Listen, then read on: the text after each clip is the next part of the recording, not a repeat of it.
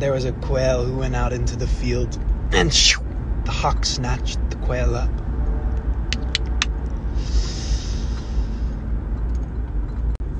But uh, the hawk wanted to to play this game again.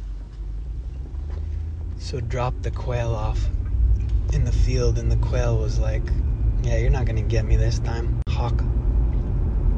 So the hawk went up high into the sky was there in the field. And uh,